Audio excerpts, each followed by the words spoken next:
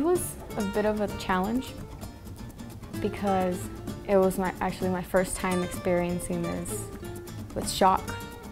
I had never done it, but I got the habit. I got in the habit of doing it and it was just mostly the small features that I had and but it was just it was more fun to do. Yeah, I had to be very delicate on those tiny details because chalk can be a bit messy, but it was not impossible. It's a fun event, uh, very successful event. Our, our students are amazing. We've gotten to a point where people recognize Bel Air. They see, they see us as like, this is Bel Air's work and, and they, it's a positive thing for us. This project, a project like this, from going 8 by 8 inches to a full 5 by 5 feet will take about 7 hours to complete. Depending on the picture, because some people like to do some uh, 3D looking things, on this picture we will be adding some more shadows to make the feathers look, come back to life a little bit.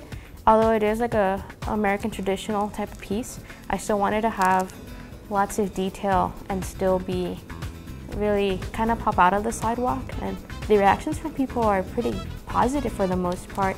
You know, people walk by and they freak out because they're like, this is a giant piece, it's five by five feet. So to see something like that I made on a small paper, well it's eight by eight here, eight by eight inches, go into five by five feet, it's pretty intense. And I think the more bold you go, the more it gets noticed by other people. My piece consists mostly of a human being mixed with a jellyfish. It's, it was meant to be a symbolic uh, piece, representation of me in a very um, kind of emotional way. Um, I decided to use a jellyfish because on the outside it, people see it as a delicate, very delicate creature, although it does possess a very, very powerful sting. Uh, yes, it was worth the amount of hours being there.